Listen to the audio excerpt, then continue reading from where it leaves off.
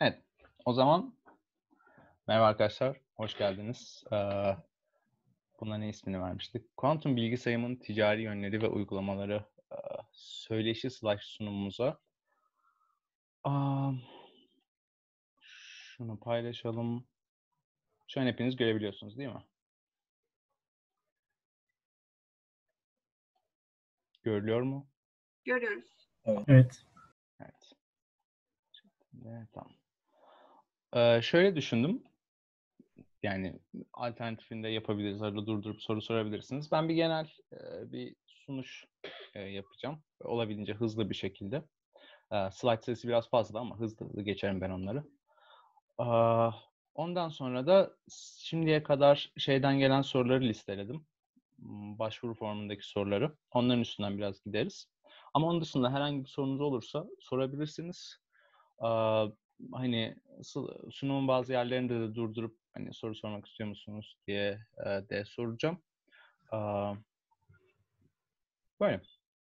E, Bir şey olursa zaten chatten görebiliyorum veya basitçe e, unmute'u kaldırıp siz de konuşabilirsiniz. O zaman başlıyorum. Aa, muhtemelen biliyorsunuzdur zaten ama bilmeyenler için e, ben Zeki Q Turkey e, kurucu üyelerinden birisiyim. Aynı zamanda ODTÜ Fizik bölümünde araştırma görevlisiyim. Bir yandan da ODTÜ Bilim ve Teknoloji Politikası Çalışmaları bölümünden yüksek lisans yaptım. Orada e, TekPol diye bir merkezimiz var bizim orada teknoloji politikaları araştırma merkezi. Onlarla birlikte işte hani Türkiye'de ve dünyada kuantum teknolojilerinin ne durumda olduğunu, nereye doğru gidiyor olduğunu, işte hani ticarileştirme durumunun e, ne aşamada olduğuna dair bir çalışma yaptık. Güzel de oldu. Onun bir kısım bulgularını da bu sunumda kullanacağım. Am, Ama hani ilk kez bu alana yani bu alana aşina olmayanlar için şöyle bir giriş yapabiliriz. Yani kuantum teknolojileri nedir? Yani kuantum bilimi nedir? Klasikten farkı nedir gibi. Am, Aslında bu şu demek yani kuantum teknolojisiyle bildiğimiz teknoloji dediğimiz şeyi ayıran aa, sınıflayıcı öğe. Kuantum teknolojilerinde bazı kuantum fenomenlerin, e, kuantum fiziğine has, sadece kuantum fiziğiyle açıklanan fenomenlerin teknolojileştirilmesi veya bu fenomenlerin bazı fiziksel çıktılar elde etmek amacıyla kullanılması. Bunlar nedir? Mesela işte süperpozisyon, dolanıklık, işte girişim yani parçacık düzeyinde girişim desenleri yaratmak gibi. Normalde bizim klasik fizik dediğimiz alanda olmayan yani şu an herhangi bir mühendislik bölümünün üzerine kurulduğu dünya algısının içinde yer almayan bazı fenomenlerden siz teknoloji üretiyorsanız o zaman kuantum teknolojisi yapıyorsunuz diyoruz. Bunun da bazı alanları var. İşte iletişim, bilgi simülasyon, algılama, metroloji gibi. Bu dört alan en yaygın kullanılan sınıflandırma. Fakat sadece hani bu olmak zorunda. Mesela şey simülasyonla bilgisayarı birleştirip üç sınıf yaratanlar da var. Bu Amerikan ekolü biraz daha öyle yapıyor. Bu biraz daha Avrupa ekolünü bir sınıflandırma. Tabii bu dördünün yanında hani temel bilim, işte Quantum Information Science dediğimiz e, bilim alanı e, diyeceğim aslında. Hani fiziğin ve biraz fizik, information science, computer science biraz bu üçünün e, altında bir birleşim gibi düşünebilirsiniz ama daha çok fizik odaklı tarihsel olarak. E, bir temel bilim en üstüne oturuyor bunların hepsi. Aa, ve bunların da ayrı ayrı alanları var. Hani mühendislik, işte kontrol, yazılım, teori, eğitim gibi kuantum programlama dediğimiz şey aslında şu, siz mouse'umu görebiliyor musunuz? Göremiyorsunuz sanırım. Neyse yani aa, hani bilgi sayı... Ha tamam. Güzel. Aa, bilgi sayımla yazılımın arasında şurada bir yerde ve hani sadece yazılım da değil, yazılımın da hani bir tık daha altında programlama olarak yani ya da üstünde hani ne tarafa doğru e, götürmek istiyorsanız o işi. Hani fizik biliminin bölgeleri bunu ben çok sık kullanıyorum. Aslında anlaş anlamak için bayağı faydalı olduğunu düşünüyorum çünkü. Normalde hani biz işte bildiğimiz mühendislik dediğimiz şey aslında şurada icra oluyor. Yani yavaş, yavaş derken hani ışık hızına kıyasla yavaş. Ve büyük yani işte insan boyutunda ya da insan olmak zorunda değil yani ne bileyim işte kalemde işte ya da bozuk para ya da daha küçük hani nanometreye inmediğiniz sürece mikrometre düzeyinde kaldığınız sürece yani metrenin milyonda birinde takıldığınız sürece hala kuantum fiziğinin sınırlarını tam varmamış sayılıyorsunuz.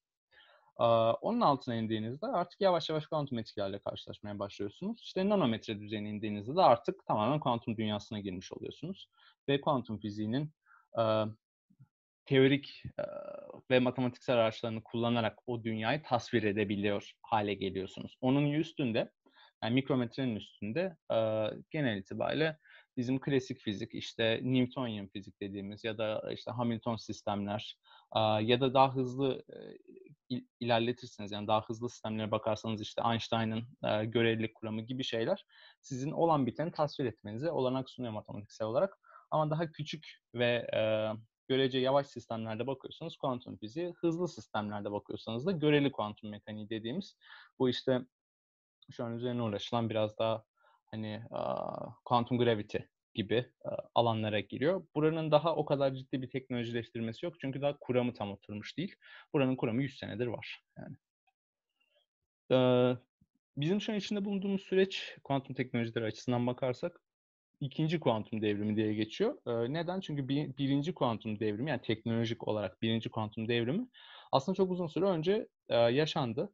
Neler çıktı bundan? Mesela işte mikrodalga fırın, yani mikrodalga fırın derken fırına gerek yok. Mikrodalga teknolojileri e, bu tüm aslında iletişim altyapımızın da üstüne kuruldu. E, işte lazerler. Yani ne kadar lazerin kendisi klasik bir dalga e, olarak e, yani klasik bir dalga olsa da lazeri üretmek için ya da nasıl hangi renkte ne şekilde lazer üreteceğinizi bilmek için kuantum mekaniğine ihtiyacınız var. Ya da MR özellikle en çok yani medikal olarak en herhalde yaygın kullanılan iki kuantum teknolojisinden birisidir. Öbürü de zaten işte izotop yani şey nükleer sistemler.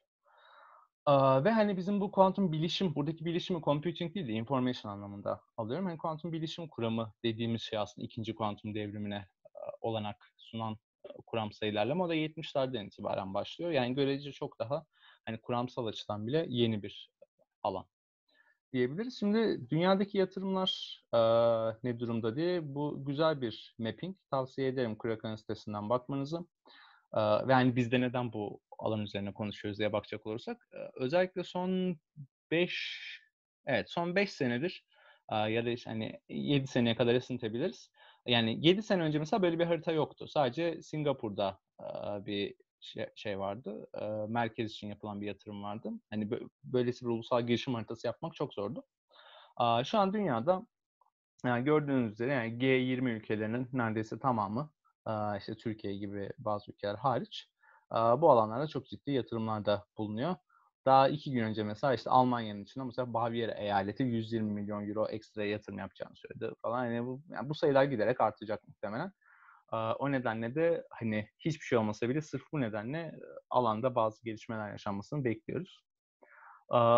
Bu da ayrı bir not. Şeyden Amerikan yani Beyaz Saray'ın bu Office of Science and Technology Policy diye bir şey var bunlar. Fiscal Report yayınlıyorlar. Oradan mesela hani federal bütçeden ne kadar, hangi teknolojiye ne kadar ayrılacak diye.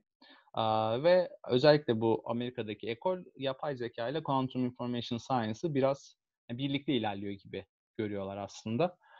ve hani onları biraz birleştirmeye çalışıyorlar. Bundan bir önceki ekolde şuydu, nanoteknolojiyle Quantum Information Science'ı bir arada gidiyormuş gibi görüyorlardı. Şimdi bu Onların bir e, nanoteknoloji, National Initiative on Nanotechnology diye bir şeyleri vardı. Şu an kuantuma yaptıkları gibi yaklaşık 20 sene önce falan hayata geçirdikleri. E, ya da 15 de olabilir tam o kısmı hatırlamıyorum. Hani onunla birlikte aslında bu yani kuantumla yaptıkları yatırımları nanoteknolojinin bir üst aşaması olarak görüyorlar. Bu bizim çalışmalardan hani toplam makale sayısına baktığınızda aslında hani bu neden son 20 sene dediğimi biraz burada görebiliyoruz. Yani yavaş yavaş bu hani tahmin edebileceğiniz üzere biraz Shore'un da etkisiyle ve ondan sonra alana çok ciddi ilgi duyulmasıyla birlikte burada çok ciddi bir artış var. Aynısını patentlerde de görebiliyoruz. Yani bu bunlar toplam makale sayıları olduğu için hani yeni yaparsanız şöylesi gidecek muhtemelen. burada da aynı şekilde. Özellikle son birkaç senede çok ciddi bir hem patent başvurularında hem alınan patentlerde çok ciddi bir artış var. Bu da aslında teknolojik olarak bilginin ticarileşmeye en azından beklenti olarak uygun hale gelmeye başladığını gösteriyor. Peki bu e, bilimsel bilgi, yani makaleler demiştik az önce nasıl dağılıyor dünyada diye bakarsanız mesela işte en çok Çin'den makale çıkıyor. Sonra Amerika, işte İngiltere, Almanya ve hani Avrupa Birliği. Yani toplarsanız Avrupa Birliği, Amerika ve Çin aşağı yukarı denkler. Yani %30, %30, %30 gibi. Kalan da kalan dünya e, gibi bakabilirsiniz. Avustralya ve Kanada e, bu konuda aslında oldukça iyiler. Yani tekil ülkeler olarak bakarsak bir de Rusya'nın da güzel çalışmaları var. Çok benzer bir tablo zaten şeyde de görülüyor. Patentlerde de görülüyor. Bunlar aktif patentleri gösteriyorlar. Burada ama şeyi düşünmeyin. Mesela Türkiye'de patent var. Bu Türkiye'den bir firma patent aldı demek olmuyor. Yurt dışından bir firma Türkiye'de de patent almış olabilir. Hani öyle olduğu için burası aslında şeyi gösteriyor. Hani firmalar hangi ülkelerde kendi ürünlerinin bu işte IP protection dediğimiz fikri mülkiyet bağlamında savunulması gerektiğini düşünüyorlar diye. Bu da aslında ileride hangi ülkelerde bu alanlarda pazar beklentisi varı gösteriyor. Gördüğünüz üzere en çok Çin. Ama bunun sebeplerinden bir tanesi şu. Çin'de, Çin'in içinde yani Çin'den Çin'in içine patent almanın maliyeti mesela atıyorum Amerika'da Amerika içine patent alma maliyetinden çok daha düşük. Ve çok fazla sayıda patent var. O yüzden hani Çin'deki bu çok yüksek sayıyı o kadar da ciddiye almamak lazım. Ama sayı çok yüksek o yüzden hani yani yarısı bile bir tabirle çöp patent olsa kalan yarısı hala çok ciddi bir piyasa göstergesi. Peki ticari bilginin dağılımına bakarsak yani toplam firma sayısı diye bakacak olursak bu benim 2018'deki e, çalışmadan. Toplam firma sayısı artıyor. Bu yani data 2018'de topladığım için burada bir düşüş var. Yoksa bu hala böyle yükselmeye devam ediyor ve hani firmaları da ülkelere göre clusterlayacak olursak buradan şeyi görebiliyoruz. Hani en çok Amerika'da firma var. Sonra Kanada, İngiltere, ondan sonra işte Almanya, Japonya, Çin yani bu şekilde gidiyor. Bu 2018'de olduğu için Türkiye burada yok ama şu an Türkiye'de de bazı firmalar var. Bir de burada dikkat edilmesi gereken noktalardan birisi Çin'de firma sayısı az görünüyor ama bunlar çok büyük firmalar. Yani Amerika'daki firmaların da bazıları çok büyük ama bazıları startup mesela. Almanya'dakilerin de öyle aslında. Kanada'dakilerin de yani startuplar var. Çin'de o kadar da fazla startup yok. Çin'de gerçekten hani bizim Aselsan, işte Roketsan ya da işte ne bileyim yani büyük firmalar gibi firmalar Çin'de bu işe girmiş durumdalar. Daha bugün zaten şey haberi çıktı. Baidu erişime açık, cloud üzerine erişime açık kuantum bilgisayar e, donanımı geliştirip hani bunu e, açtı mesela. E, peki bunlar kuantum teknolojilerinde olduğu için e, firmalar neye göre dağılıyor diye bakarsak aslında en çok firmanın kuantum computing yani kuantum bilgisayarında olduğunu görüyoruz. E, ve e, bu firmaları da kendi içerisinde dağıtacak olursak en çok donanım alanında uğraşan firma var. Daha sonra e, uygulama sonra yazılım ama burada şöyle bir şey var. Mesela bir firma hem donanım hem yazılım hem uygulamayla uğraşıyorsa ben onu donanıma attım. Yani o nedenle aslında bunları bunların üstüne ekleyerek de e, gidebilirsiniz. Dolayısıyla aslında biraz hani dengeli bir e, dağılım var diyebiliriz. E, bu donanım geliştiren firmalar hani gerçekten hani fiziksel donanımla uğraşıyorlar. İşte kontrol elektroniğine uğraşıyorlar, işte cryogenik sistemleriyle uğraşıyorlar ama bunların kuantum bilgisayarlarda kullanılmak üzere bunlarla uğraşan firmaları aldık sadece yazılım dediğimiz biraz daha işin hani yani programlamayı da biraz içeren ama programlamanın bir tık daha altı hani cihazla sizin aranızdaki bağlantıyı kurmaya çalışan sistemleri geliştiren firmalar. Uygulamalar gerçekten hani işte mesela bunun finansla uygulaması, bunun işte medikalde uygulaması, bunun atıyorum işte trafik optimizasyonunda uygulaması gibi şeyler yapan firmalar. Ee, bu da direkt kuantum bilgisayarım alanındaki e, firmalar üzerine herkesin gelip inceleyebileceği interaktif bir harita. Şuradan Quantum Zeitgeist'tan girip bakabilirsiniz. Hani bu firmalara teker teker o sistemde tıklayıp şeye bakabilirsiniz. Hani ne yapıyorlar, neredeler, web sitelerine, ürünleri neler. Biraz bunun tarihinden bahsedelim diye bunu aldım.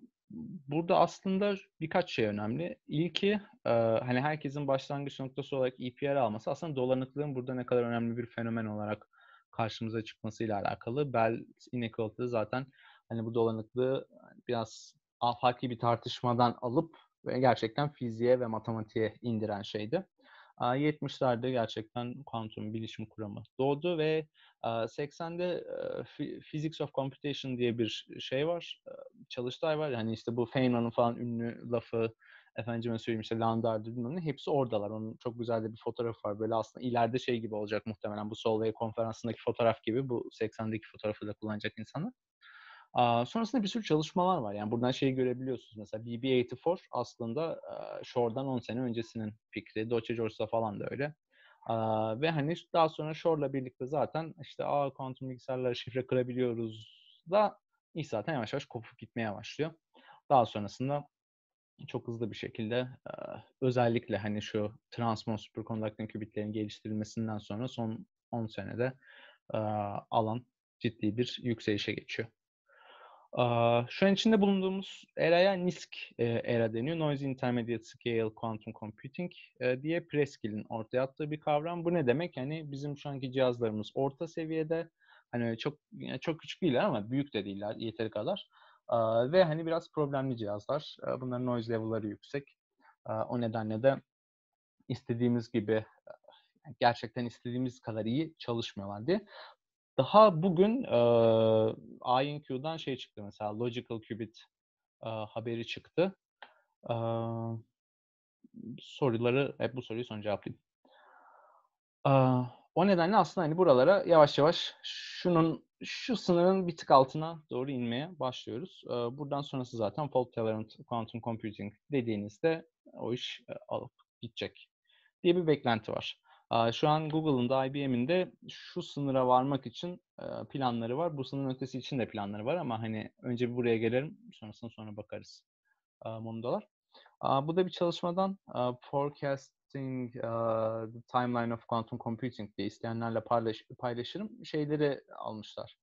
Yani şimdiye kadar ortaya konulan yapılan cihazların hepsinin kaç qubit'i var fiziksel olarak ve hani hangi sistemlerde yapılmışlar? Silikon, işte spin based, superconducting, trap ion diye. Bu lineer değil bu arada. Logaritmik şeyi görebiliyorsunuz. Hani mesela şurayla şuranın scale aslında 1'e 100 değil yani. Ama böyle olmasına rağmen artış lineer değil aslında ya. O yüzden çok üstel bir qubit sayısında artış var son birkaç senedir. Bunun da böyle olması bekleniyor. Hani bu şekilde yükseleceği bekleniyor. Fakat şöyle bir problem var.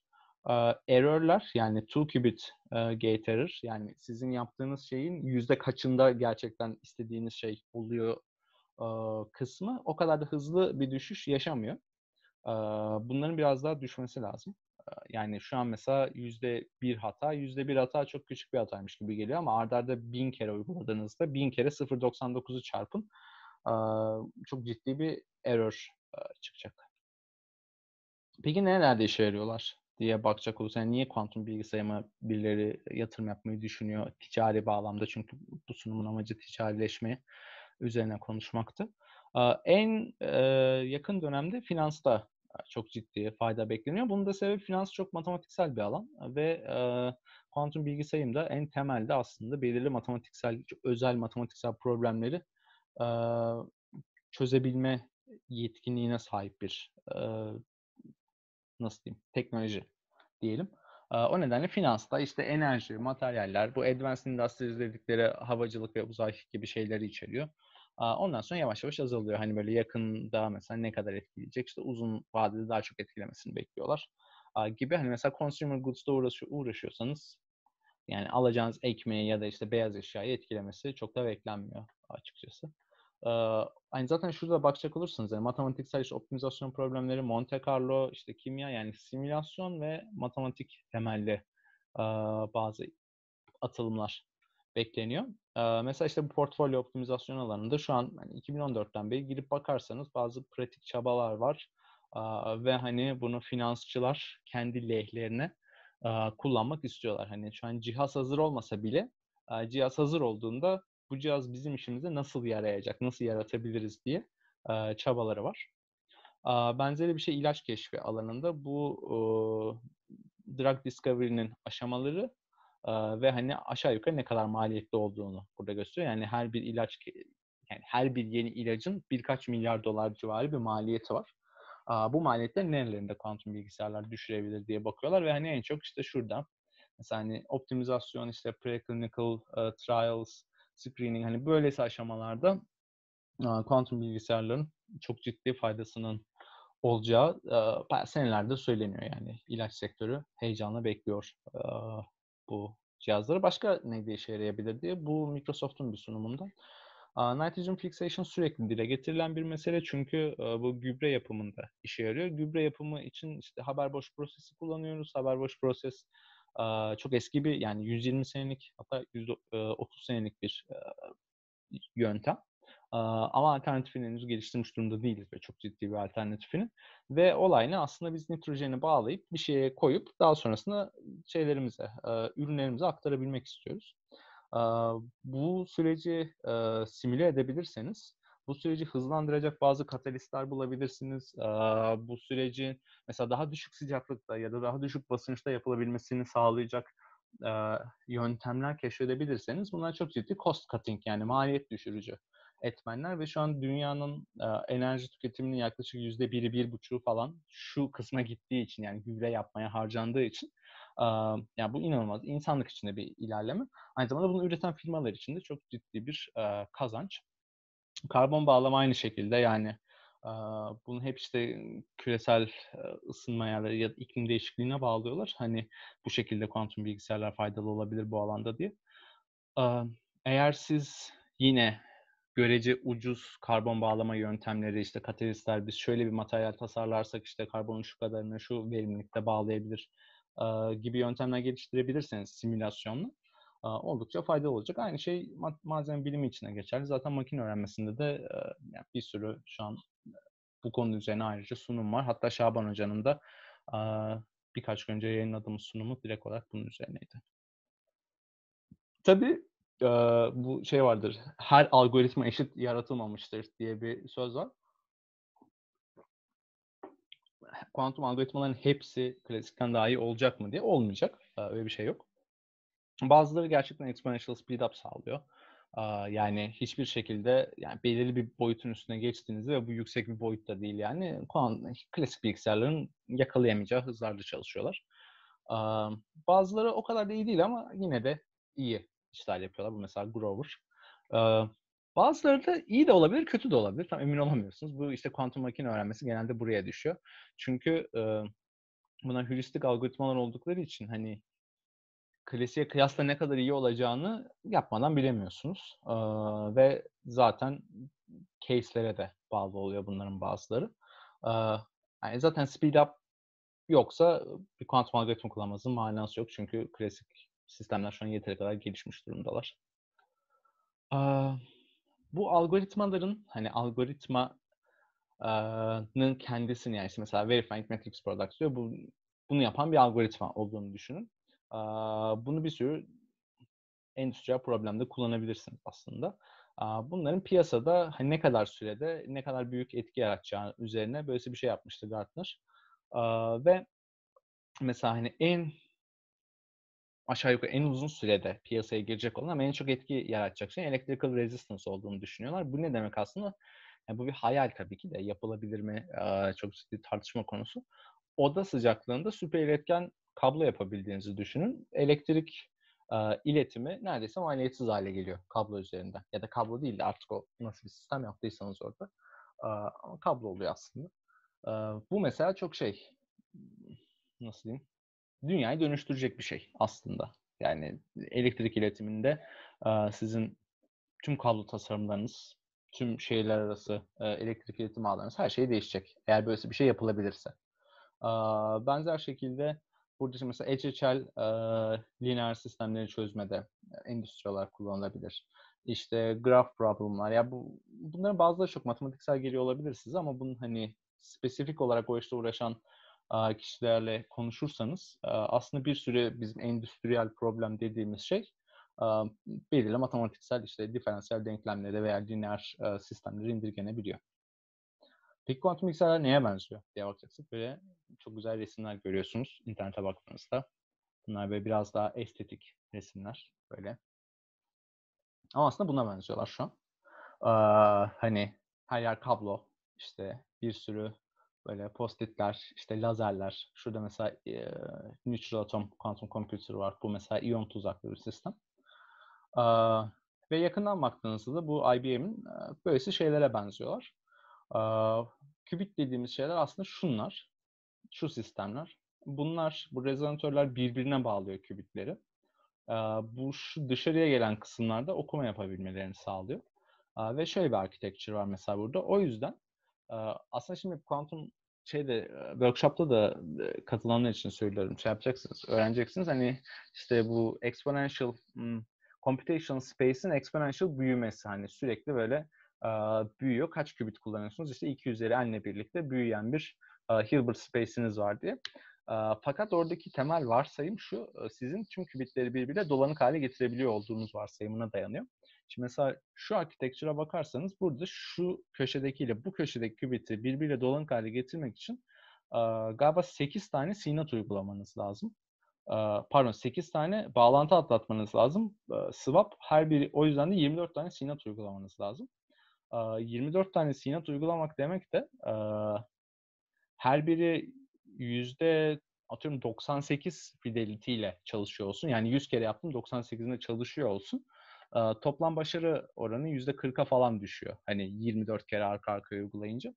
O yüzden hani hepsini birbiriyle dolanık hale getirecek bir architecture şu şekilde o kadar da mesela faydalı olmayacak. Zaten buradaki en büyük yani bu scaling'deki en büyük problemlerden birisi de bu. Siz e, bunu aldınız. Bunun yanına bir tane daha koyun, bir tane daha koyun, bir tane daha koyun. Böyle mesela 1 milyon kübit yaptınız. Şununla şunun e, dolunuk hale gelmesi gerekecek. Nasıl yapacaksınız? Yani bir sürü problem var orada. E, bunlar çok ciddi kuantum mühendisliği problemleri. Bunun üstüne de dünya üzerinde çalışan bir sürü firma var. Farklı fiziksel sistemler bu 2016'dan bu arada bu sayıların çoğu değişti. Ama hani burada şey görebiliyorsunuz işte mesela süper iletkenler, tuzaklanmış iyonlar, silikon kuantum datlar. Bunlar şu an fiziksel sistemler değiller ama olacağı umuluyor topological qubitlerin ve işte bu NV Diamond vacancy'lerle yani nitrojen vacancy'lerle yapılan sistemler. Bunların hepsinin kendi artıları var, eksileri var. Bunlara girip bakabilirsiniz. internetten böyle şeyler yaygın bir şekilde varlar, ulaş, ulaşıma açıklar. Bu da yine daha e, tatlış bir şekilde gösterime hani ne tür fiziksel sistemler ve hangi firmalar bunlarla uğraşıyor diye. E, en çok süper iletken qubit sistemleriyle uğraşılıyor. İkinci olarak aslında şu an hani en beklenen e, iyon tuzakları. E, daha sonrasında fotonik sistemler, sonra umut silikon çünkü elimizde çok ciddi bir silikon altyapısı var zaten. E, hani onu yapabilsek ne de güzel olur diye bakıyorlar. Uh, topological qubit şu an şey hani böyle olursa her şey değişecek ama ya biraz nükleer füzyon gibi bir teknoloji. Onun dışında zaten bunlar da şimdi Atoms ve Diamond Vacancy olursa güzel olur yapabilirsek diye.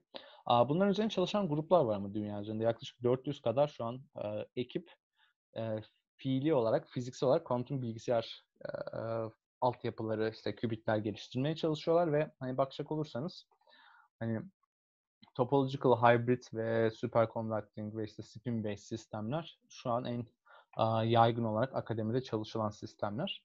A, bunun da sebebi şu yani e, süper iletken sistemlerde bir geliştirme yapabilir miyiz? Çünkü bu önemli bir şey. Şu an en yaygın olarak kullanılan şeyler. Eğer size onu onlara bir geliştirme sunabilirsiniz bu şahane. Bunlar zaten bilimsel olarak en ilgi çekici kısımlar. Hani topolojik olarak biz sistemleri kodlayabiliriz. Çünkü error correction çok kolay hale geliyor. Topolojik qubit yapabilirsiniz. Spin qubitler de esas itibariyle yani iyon tuzakları ile birlikte en azından fizikçilerin bildiği alanlar ve o nedenle yapması da o kadar pahalı değil. Yani bir süper iletkene kıyasla bunları yapması biraz daha ucuz. O nedenle çalışıyorlar. Kim ne yapıyor dünya üzerinde firma olarak diye bakarsanız ve akademik gruplar olarak burada hani gate-based annealing işte neuromorphic sistemlerle çalışan pek çok startup ve firma var. En çok yine süper iletken kübitler ama hani kalanlara da bakabilirsiniz. neler yaptıklarına. Bu daha dünden hatta bugünden galiba bir haber. Bu Fault Tolerant Operation of Quantum Error Correction Code bir INQ'dan çıktı bu Chris Monroe'nun grubundan. Bu şu demek aslında sizin elinizde bir sürü kübit var. Siz bunların hepsinden tek bir tane kübit, logical kübit yapıyorsunuz ve bu logical kübitin belirli operasyonlardaki hatası, maruz kaldığı errorlar her bir ayrı kübitin maruz kaldığı errorlerden daha düşük. Yani siz ne yapıyorsunuz? Kübitleri clusterlayarak onun üzeri o tek logical kübit üzerine yapacağınız operasyonların teker teker ayrı kübitlere yapacağınız operasyonlardan daha düşük bir error'e sahip olmasını sağlıyorsunuz. Bu ne demek? Hani bunu yaptığınız, sonra bunu bir kere daha yaptınız, sonra bunu bir kere daha yaptınız. Mesela atıyorum 1 milyon fiziksel kübiti tek bir logical kübit yapıp hani inanılmaz düşük hatalı çalıştırabilirseniz teker teker oradaki fiziksel kübitlerin hatalarının yüksek olmasının çok da bir anlamı kalmıyor o saatten sonra. Bu zaten asıl hani böyle kuantum computing'in uçuşa geçeceğinin beklendiği nokta. O nedenle eğer ilgilenenler varsa tavsiye ederim bu makaleye bakmanızı. Archive'da direkt bu başlığı yazarsanız bulabilirsiniz. Simülatörler özellikle hackathon'a katılacak arkadaşlar için söylüyorum. Simülatörler çok işinize yarayacak şeyler.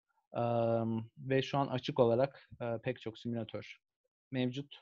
Hani bu işte D-Wave'inki, IBM'inki, Rigetti'ninki, Google'ın, Microsoft'un, Alibaba'nın işte bugün Biden'ın açıklaması geldi.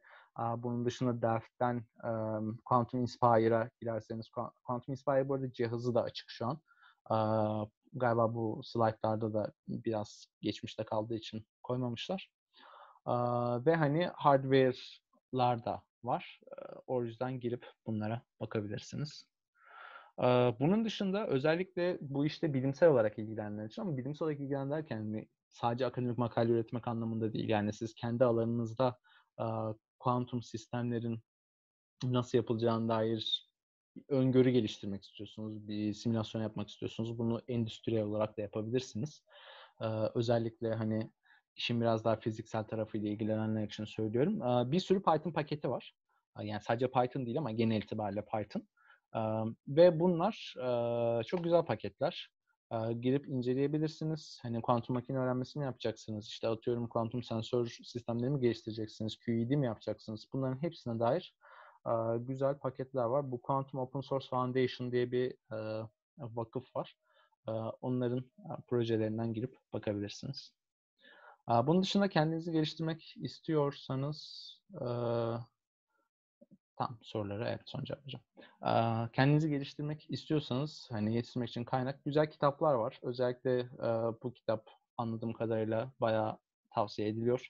Geçen yazarı sunum yaptı. Ben çok beğendim. o yüzden burada da şey yapayım. Reklamını yapayım dedim. Bunun dışında bir sürü startup var. Hani işte AI ile mi ilgileniyorsunuz, optical sistemlerle mi ilgileniyorsunuz, bu işin encryption kısmıyla mı ilgileniyorsunuz? Girip buralarda bir sürü firmanın, yani bu firmalar ne yapıyormuş diye direkt girip hani product'a tıklayıp ya da işte solutions'a tıklayıp bu firma ne yapıyor diye bakabilirsiniz. Bunun dışında özel sektörde sadece startuplar yok, büyük firmalar da var. O büyük firmalara da bakabilirsiniz. Ve bu enabling technologies kısmı da aslında önemli. Yani bunu ticari olarak düşünenleriniz varsa ileride kuantum teknolojilerin. işin sadece kuantum kısmına girmek zorunda değilsiniz. Yani bunun daha işte soğutma sistemleri var, kontrol elektroniği var, işte optik mesela optik masasını yapmak bile ayrı bir mesele. Bunlar zaten bilenler biliyorlar bunu bu teknoloji alanları da aslında önemli alanlar. Mesela Q kontrol direkt sadece kon, yani kuantum kontrol sistemleriyle uğraşıyorlar ve a, siz bir kübite nasıl bir şey diyebilirsiniz, kübitten nasıl bir şey alabilirsiniz a, gibi şeyler yapıyorlar. Daha çok yakın zamanda a, büyüklerden birisiyle bir anlaşmaları oldu. Gelip ona bakabilirsiniz. Bu da dünden bir tane iş ilanı. Hani yani artık kuantum software developer çok yaygın bir e, hale geldi. Yani Quantum Software Developer arıyorum. 5 sene önce böyle bir şey demek çok abesle iştigal olurdu. Ben Quantum Software Developer arıyorum. Ama şu an birisi deyince evet var öyle şeyler diye yani çok garip karşılanmıyorsunuz. Ee, bu da benim en kullanmayı sevdiğim gazete küpürlerinden birisidir. İşte bu şeyde klasik bilgisayarlarla ilgili, ENIAC'la ilgili bir haber. Da işte hani elektronikçiler yani çok fazla vakum tüp var. Bu hiçbir zaman düzgün çalışmaz. İşte matematikçiler de ya bunun çözmesine gerek olacak kadar kompleks problemlerimiz hiçbir işe yarayacak problemler değiller demişlerdi. Ama bakın artık bilgisayarlar hayatımızda diye 96'dan bir gazete küpürü. Benzerini şu an kuantum bilgisayarlar içinde yaşıyoruz aslında. Bunun dışında bu alanı takip etmek istiyorsanız size tavsiyem bu kaynaklara bakın. Quantiki çok güzel bir wiki'dir. İş ilanları, akademik kadro ilanları, nerede ne var, hangi kavram ne bunların hepsini girip bakabilirsiniz. Quantum Daily gerçekten yani daily olarak bu alandaki haberleri iletiyor olması bakımından çok şey değerli ve güzel. Insight Quantum Teknoloji ve Quantum Zeitgeist, Quantum Computing Report özellikle bu alanla ilgileniyorsanız. Güzel. Şimdi sorulara geç sorulara da geçelim. Sorulara geçmeden önce de şeyi de demek istiyorum. Hani sadece quantum computing yok bu kuantum teknolojileri alanında. Şimdi şeyi gösterebilirsek. Şurada mesela hani quantum encryption mesela quantum computing ile bağlantılı değil mi? Mesela IDQ çok güzel bir örnek bu alanda. Bunlar Quantum Key Distribution sistemleri ta 2001'de kuruldular galiba.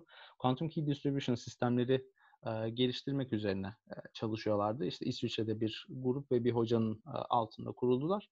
Daha birkaç sene önce Güney Kore'nin telekomuyla yani SK Telekom'la bir anlaşma yaptılar. İşte birkaç 10 milyon dolarlık. Daha Mayıs'ta falan da galiba şey çıktı. Bunların Samsung'la yaptıkları bir anlaşma sonucu işte Samsung Galaxy A Quantum diye bir telefon çıkardılar. İşte içinde ID Quantic'in işte 2.5 mm, 2.5 mm'lik bir Quantum Random Number Generator vardı. O mesela quantum computing ile alakalı değil aslında. Quantum computing market map'e koymuşlar ama bu kuantum optik alanında yapılıyor. Yani mesela Türkiye'de eğer kuantum teknolojilerine yönelmek istiyorsanız bunu biraz daha hani kuantum optik, işte kuantum kriptografi gibi alanları tavsiye edebiliriz. Bunu da reklamını birazdan söyleşi kısmında yaparız. Sorulara geçelim. Ee, evet, Toshiba'da Quantum Based şirketlerde iyi. Hatta ben şey çok şaşırmıştım ya. Bu yani Avrupa'da QKD'yi iki firma yapıyor. Birisi Toshiba, birisi IDQ'ydu. Yani çok enteresan gelmişti bana. Toshiba niye Avrupa pazarında bu kadar dominant diye. Mesela Quantum Annealing'de şu an galiba D-Wave'den sonra hani Quantum Inspired sistemlerde Fujitsu en önde yani ne alaka diye bakıyorsunuz ama Fujitsu'nun niye böyle bir şey var? Japonlar garip insanlar diyebiliyorum bu konuda sadece. Um, soru yanıta geçeceğim. Uh, şuradaki sizin chat'teki sorularınızı da birisi bir şey yazabilir mi chat'e ya? Ben tekrar nasıl chat'i açacağım bilmiyorum. Uh, evet. Merhaba, teşekkürler. Şimdi şuradaki sorulara da çıkayım. Önce e, chat'teki sorulardan başlayalım. Mesela bir şey soruyor. Bazı problemlerin çözümü kuantum daha kolayken bazıları daha zor. Um, bazı problemlerde 256 kübitle çözmek 256 bitle çözmekten daha zor mu? Uh, yani şöyle mesela kuantum bilgisayarlara toplama yaptırmak klasik bilgisayarlara toplama yaptırmaktan daha zor o yüzden muhtemelen 256 kübitlik bir sistemle toplama yapmaya çalışırsanız 256'ın bitle çalışıyormuş gibi olacaksınız. Şey yapmazsınız ya kuantum toplama işlemi yapmazsınız orada. Hani kübitleri bit gibi de kullanabilirsiniz bu arada. Orada bir sakınca yok yani. Her bir kübitin bir bit olmasının önünde teknik olarak hiçbir sakınca yok. Hatta yani şöyle bir sakınca var. Hataya maruz kalıp değişebilir arada. Kötü bitleriniz olur elinizde. Qubit sayısı artarsa her problemden de bir gün normal bilgisayara geçiyor olmaz mı? Olmaz işte. Yani toplama yapamazsınız mesela. Hani klasik bilgisayarda toplama yapmak çok daha kolay. Quantum Machine Learning ile Machine Learning arasında nasıl farklar var? Birisi klasik data kullanıyor. Birisi yani daha doğrusu şöyle klasik datayla Quantum Machine klasik datayla klasik Machine Learning yapabilirsiniz. Klasik datayla Quantum Machine Learning yapabilirsiniz. Quantum datayla klasik Machine Learning yapabilirsiniz. Quantum datayla Quantum Machine Learning yapabilirsiniz. O yüzden Quantum Machine Learning'i tam olarak ne olarak tanımladığınızla alakalı bu biraz. Ee, ama esas farkları yani eğer quantum machine learning'den bahsediyorsak kullandıkları donanımlar farklı. Bu nedenle de dili, yazmanız gereken programın dili farklı. Yazma, yazdığınız programın kapabiliteleri, yetkinlikleri farklı. Öyle olduğu için de aslında yani tırnak içerisinde farklı şeyler. Aynı şeyi yapan farklı şeyler. O yüzden aynı isimleri var. Eğer e, deneysel kuantum optiği alanıyla ilgileniyorsanız burada çok değerli bir hocamız var. Eğer özelden yazarsanız ben de sizi ondan sonra özelden e, yollarım. Kuantum interneti sıfır gecikmeyle çalışabilir mi? Hayır, sıfır gecikmeyle hiçbir şey çalışamaz. Arada bilgi iletilmesi lazım. E, o nedenle de yani normal internet nasıl çalışıyorsa o da o kadar hızlı çalışır. E, sadece hatta belki daha bile yavaş çalışır. Çünkü quantum teleportation yapmanız gerekecek. Onun için birkaç kere mesajın iletilmesi lazım iki taraf arasında. O yüzden kuantum internetin daha hızlı olacağını söylüyorsa birileri size bence yalan söylüyor. Biz de söylemiş olabiliriz. Biz de yalan söylemişiz. Yani ona yapacak bir şey yok. Kuantum teknolojisinin sensör teknolojisine katkısı mümkün mü? Bayağı mümkün. Bu konuda bir sürü çalışma var. Kesinlikle hani bilgisayardan önce sensör alanında çok ciddi faydaları var. Hatta quantum sensing kendi başına bir alan. Kuantum sensörlere bakabilirsiniz. Hatta şöyle Şimdi şöyle bir şey var. Çok küçük sistemleri görmek istediğinizde sizin bir e, maruz kal. Burada bunu benim şu an anlatıyor olmam çok garip geliyor bana. Çok daha iyi anlatabilecek hocamız var ama yani çok küçük bir sistemi görmek istediğinizde aslında bir fiziksel limit var. O fiziksel limitin yani sisteminiz ne kadar küçülürse o kadar yüksek enerjili görüntüleme sistemleri kullanmak zorundasınız. Yani o kadar yüksek enerjili foton kullanmak zorundasınız. Bu da çok küçük sistemlere zarar vermenize sebebiyet veriyor. Bunun bir tane triği var. Dolanık fotonlar kullanırsanız ne kadar çok dolanık fotonla bir şeyi gözlemlemeye çalışırsanız o kadar çözünürlüğünüz katsayı olarak artıyor. Bu nedenle de enerjinizi yükseltmeden aynı çözünürlükte görüntüyü elde edebiliyorsunuz. Ve bu hani başlı başına sensör alanında özellikle bu hani sadece sensör olmak zorunda değil yani litografi gibi yazdırma yaptığınız e, alanlarda da e, bir tırnak içerisinde devrimsel bir e, gelişim. E, ama bunlar kullanılıyor yani bir sürü kuantum sensör firması var. E, kuantum avantajlı problemleri çözmek için circuit tasarlamak uzun ve meşakkatli bir süreç. Bunun yerine belli başlı problemler için hazır kuantum circuit kütüphaneleri var mı? Python dillerde kullanabileceğimiz. Aslında var. Eee, Penny Lane'de benim bildiğim kadarıyla var. Fakat oradaki problem şu, yani problemlerden bir tanesi şu. Şimdi transpiler'lar çok uzun süredir yoklardı. O yüzden elinizdeki bir problemi bir fiziksel sisteme maplemek sizin yapmanız gereken bir şeydi. Çünkü ortada bir optimizer yok. Yani siz elinizdeki sistemi yani bir, bir probleminiz var. Bu problemi kuantum bir donanıma çözdürmek istiyorsunuz. Ee, ama ortada ki yani az önce gösterdiğim architecture düşünün mesela. O kübitlerin bazılarının arasındaki bağlantı mesela %80 verimlilikle çalışıyor. Bazılarının arasındaki işte %95 çalışıyor. İşte bazısı bilmem ne çalışıyor. Şimdi ona uygun problemi yine yani şey, programı yine siz yazacaksınız. O böyle kendiliğinden oraya uygun bir şey e, yazdırma işi şu an başlı başına iş. Başlı başına iş derken şöyle iş. Mesela Cambridge Quantum Computing diye bir firma var. İşi bu. Hani işi e, cihazlara transpiler yazmak olan bir firma var. Bir sürü de yatırım aldılar. Yani o yüzden bu böyle hali hazırda ortada var olan bir şey. E, ne yazık ki değil. Günün birinde olacak bu arada. Yani çok ya, çok uzun, uzak bir gelecek de değil bu yani birkaç seneye bunlar olmaya başlayacak. Yani birkaç seneye şunu görmeye başlayacağız gerçekten. Ortada öyle library'ler olacak ki sizin hiç yani devredir, hadamarttır, sinattır görmenize gerek kalmadan bu işleri yapabilmenizi sağlayacak e, library'ler görmeye başlayacaksınız. E, oradaki ama asıl mesele şu, arka planını bilmeden ne kadar e, inovatif bir iş yapabileceğiz. E, bir de oraya kadar bekleyebiliyor muyuz? Yani şimdiden dahil olmak istiyor muyuz, istemiyor muyuz meselesi. Kuantum bilimde ve kuantum programlama konularında Türkiye hangi aşamasında izlenebilecek adımlar hangileri? Bu konuda ben tez yazdım. Tezimi tavsiye ederim. Gidip Current State of Quantum Information Technologies in Turkey diye bakarsanız orada görebilirsiniz. Hangi aşamada kuantum programlama aşamasında yani ya da kuantum bilgisayarlar diyeyim çok iyi bir aşamada değiliz. Çünkü bir şey yok. E, yani var da çok başlangıç düzeyi akademik şeyler yapılıyor. Ama bu kötü bir şey mi? Dünyanın çoğunda yok. Hani bu şey demek değil işte Türkiye çok geri kaldı, herkes bizi geçti gibi bir şeyden söylemiyorum bunu ama aktif olarak şu an Türkiye'de hani ben kuantum bilgisayar geliştireceğim ve işte bunun için şöylesi yatırım arıyorum, böyle bir şey yapıyorum falan deyip de başarılı bir şekilde bunu yapabilen bir girişim yok. Kuantum biliminde işte TÜBİTAK, ben bu örneği veriyorum. TÜBİTAK mesela bir tane kuantum rastsal sayı üretici var. Yani kuantum random number generator var e, alamıyoruz ama yani var en azından. Böylesi girişimler var. Başka bazı girişimler var. E, bu konuda firmalar var Türkiye'de e, kurulmuş. E, o açılardan hani buna gelecek en politik yanıt herhalde 3 sene öncesine göre çok iyi durumdayız. 3 sene sonrasına göre umarım çok kötü durumdayızdır. Yani ilerleme devam eder. Uh, quantum teleportation overkill olmaz mı? Olmaz quantum teleportation çünkü şöyle bir şey. Uh, mesele teleportation değil orada. Yani mesele benim elimde bir state var burada. Ben bu state'i başka bir yere aktarmak istiyorum. Ee, hani teleportation deyince böyle sanki teleportation teleportation amacıyla yapıyormuşuz gibi oluyor ama şimdi benim elimdeki state'i bir kanal var. Kanaldan geçirip aktardığımda state'in içindeki bilgiler biraz bozulabilir.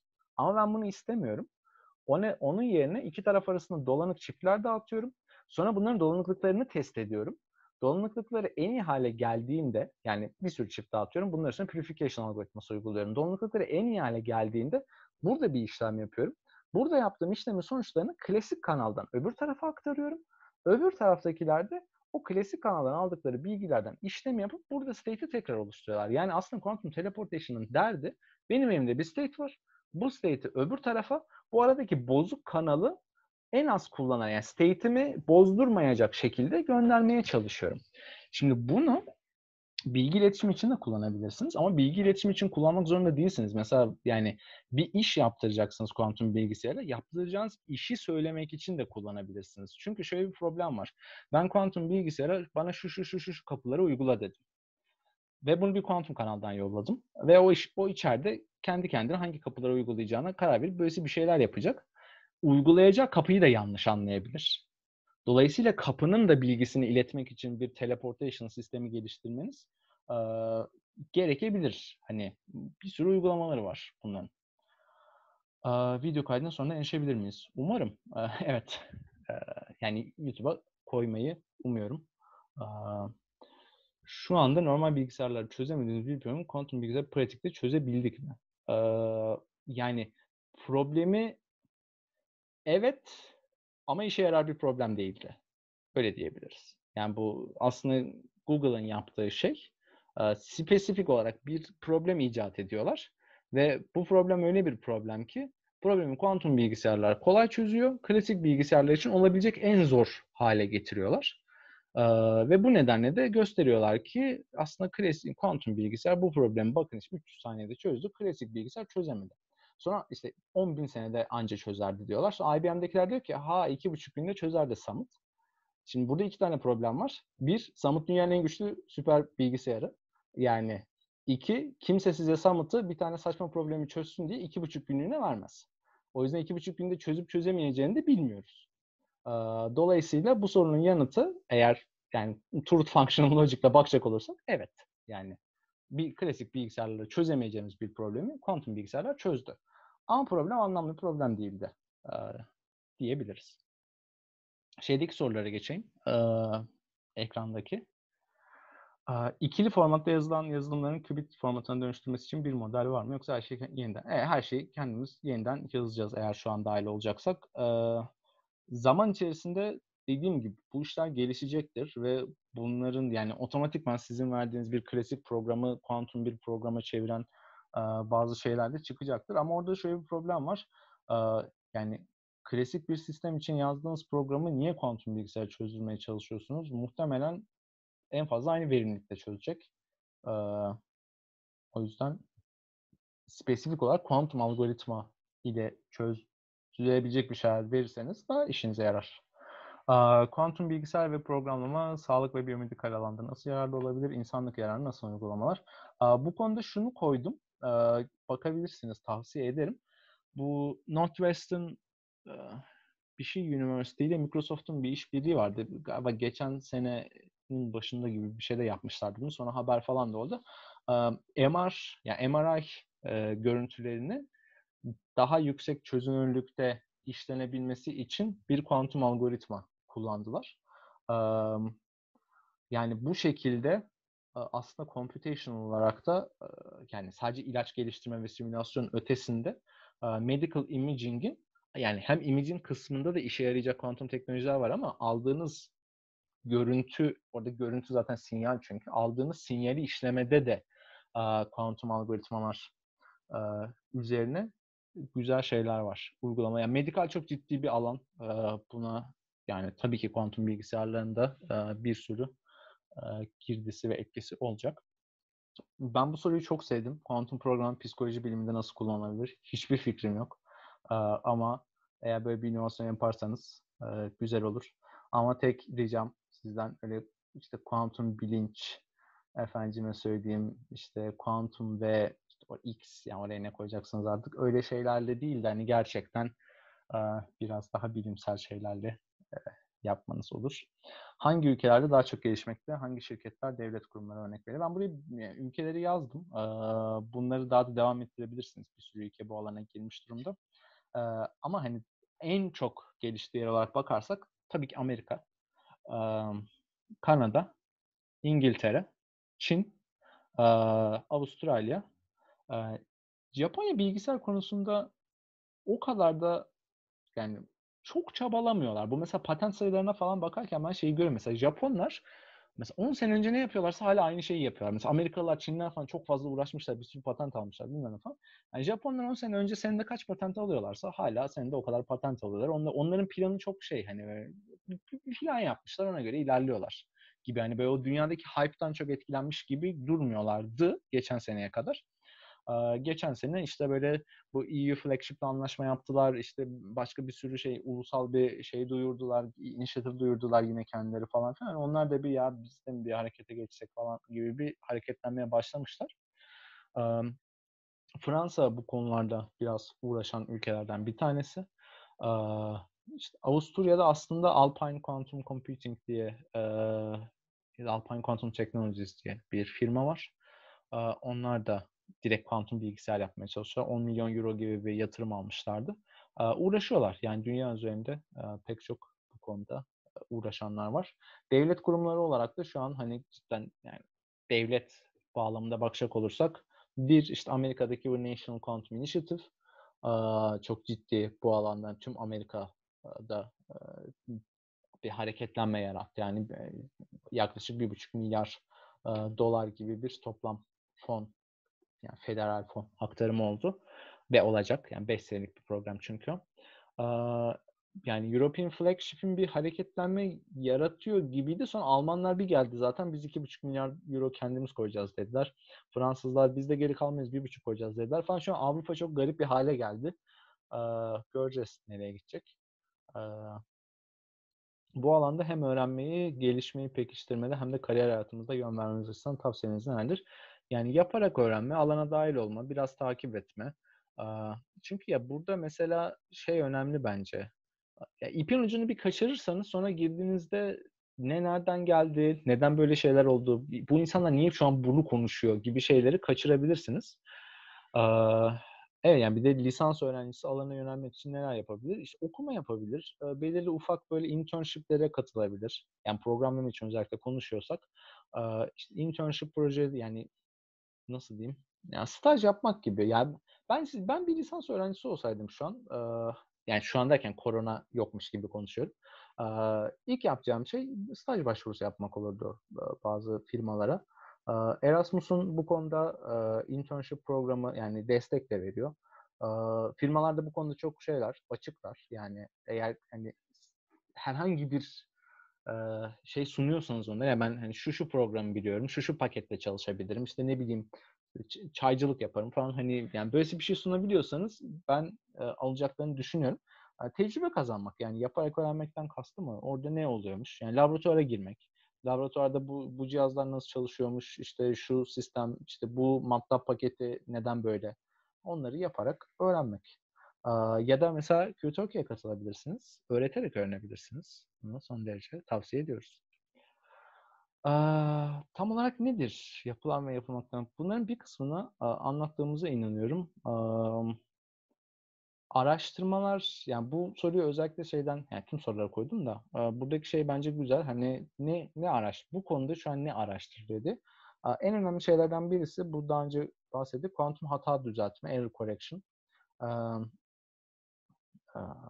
Ve hani bu error correction'da yani nasıl yapılır? Yani fiziksel olarak da programlama bakımından da. Çünkü şöyle bir şey var yani mesela işte bir elinizde dedim ya fiziksel sisteme göre değişebilir yaptığınız programın ne kadar efektif çalışacağı. Hani işte gerçekten o fiziksel sisteme otomatik bir şekilde yani sistemden datayı çekip sistemin karakterizasyonuna göre onu sizin elinizdeki yapılmak istenen şeyle mapleyip onu otomatikman dönüştürecek bir şey yapabilmek mesela şu an bir open problem. Yani birilerinin bunu yapması lazım oturup. Birileri de bunu yapmaya çalışıyor ama bunu siz de yapmaya çalışabilirsiniz. Yani o konuda şey yok. Yani başka birisi yapmaya çalışıyor diye bu sizin onu yapmaya çalışmanızın önüne geçmemeli. En kötü yaparken öğrenirsiniz çünkü. Burada bir önceki soruya da yine şey hani ne yapabiliriz bu alana girmek için işte bir lisans öğrencisi ne yapabilir gibi bir şeydi. Yani o güzel bir taktikti. NQN'de öğrendiğimiz bizim Özlem'le. Yani simülatör yazabilirmişsiniz ve çok da aslında düşünce baktık yani simülatörlere falan. Efektif. Ev, evinizde oturup bir kuantum simülatör yazabilirsiniz. İki günlük iş ve hani en azından bazı şeyleri daha rahat anlamanızı sağlar. Gelecekte bize neler sunacak çok güzel soru. Yani çok güzel şeyler de sunabilir, çok kötü şeyler de sunabilir. Bu, bunu ayrı söyleşi modunda konuşuruz. Ee, nasıl takip ederiz? Çok güzel. Bu işte gösterdiğim sitelere bakmanızı kesinlikle tavsiye ederim. İşte Quantum Daily'dir, Quantum Computing Report'tur, bizim quantumturkiye.org'dur. Ben niye onu oraya koymamışım kendi, kendimize dışladım. Ee, olabildiğince elimizden geldiğince çevirmeye çalışıyoruz. İşte orijinal içerik koymaya çalışıyoruz. Hani etkinliklerin duyurularını yapmaya çalışıyoruz. Bizim burada bir şey etkinlik sayfamız var. Ee, şu an özellikle koronadan ötürü her şey online olduğu için yani dünyanın neresinde etkinlik olsa genelde şey yapıyorlar. E, açık nasıl herkesin katılımını açık yapmaya çalışıyorlar. O yüzden siz de katılabilirsiniz bu konuda. E, oradan etkinlikleri takip edip çok da faydalı yani. Ee, Uluslararası kapsamda Google ve IBM e, gibi şirketlerin kuantum bilgisayarlar üzerinde düzenli algoritma yarışmaları var. Evet. E, yani Qiskit'in bir sürü yarışmaları var. Google'ın bir sürü var. Daha yeni geçen şey yaptılar işte Qiskit India yaptılar. Hindistan'a çıktı sadece ama yani bir sürü var ya. Yani gerçekten gidip işte IBM Quantum Challenge, Google Quantum Challenge falan böyle şeyler yazarsanız bunları bulabilirsiniz. Başka firmaların da Quantum Challenge'ları var. Yani mesela işte bu sensörleri sormuştu mesela birisi. Yani Airbus Quantum Challenge var mesela. Orada girip işte hani havacılık sektöründe bazı problemlerin nasıl çözül, yani kuantum teknolojileriyle ya da kuantum computing nasıl çözülebileceğine dair bir yarışmaya da girebilirsiniz. Böyle böyle bir sürü sistem var. Kuantum bilgisayarın fikri ilk ne zaman ve nasıl ortaya çıkmıştır? 76'da galiba ilk ortaya çıkıyor ama bu Quantum Information Computing gibi bir şeyden esas itibariyle o 80'lerdeki toplantı yani IBM ve MIT'nin ortak olarak yaptıkları kaç tane lisans öğrencisi katıldı? Geçen seneki hekatona yaklaşık kaç tane lisans öğrencisi katıldı? Yani yaklaşık kaç tane katıldı şu an hatırlamıyorum ama mesela işte ilk Nurlar kazanan ekipteydi. İlk Nur o zaman lisans öğrencisiydi yanlış hatırlamıyorsam. Kuantum bilgisayarı ne gibi alternatifler sunuyor? Bunu bence cover ettik ya. Yani üzerine konuştuk. En çok öne çıkacağı alan hangisidir? Yakın dönemde işte finans ve optimizasyon. Uzun vadede de en etki yaratması beklenen şey işte malzeme bilimi ve bu fonksiyonel malzemeler dediğimiz yani nasıl diyeyim yani bir malzemenin aslında sadece o malzeme olmanın ötesinde de belirli fonksiyonlara sahip olmasını sağlayacak belirli fiziksel yetiler kazandırabilme. Yani bir masanın sadece masa olmayacağı ya da işte ne bileyim bir e, kalemin sadece kalem olmayacağı e, ama bunu hani fiziksel düzeyde manipülasyonla yani üstüne işte ekran koyarak falan değil de e, yapabilecek e, sistemlerin geliştirilmesi açısından e, quantum computing'in özellikle kuantum simülasyonunun çok önemli olmasını e, bekliyoruz. E, çünkü yani şöyle söyleyeyim şu anda yapılamayacak simülasyonları yapabilmenizi sağlıyor. Bunun u, u, yani ucu bucağı yok. Hani şu an yapamadığımızdan ötürü üstüne bile düşünmediğimiz bir sürü şeyin yapılabilir hale geldiği noktada um, pek çok şey değişecek diyeyim. Arada kaçırdığım soru var mı diye chat'e bakayım. Um... Ben tekrar onları paylaştım. E, atlan onları. Ne oldu. Kuantum mekaniğine hakim olmak şart mı? Bence değil ya. Biz bunun üzerine özlemle makale yazıyoruz şu an. yani kuantum programming ve quantum computing'i anlatmanın aslında iki tane yolu var. Yani aslında farklı yolları da vardı da iki tane mainstream yolu var. Bunların bir tanesi kuantum mekaniğinden başlayıp hani bakın kuantum mekaniğindeki şu özel, özellikleri computing'de bu şekilde kullanabilirsiniz gibi bir daha fizik ve fizikçilere yönelik. Çünkü alan fizikten çıktığı için hani biraz daha fizikçilere yönelik bir anlatma yöntemi var.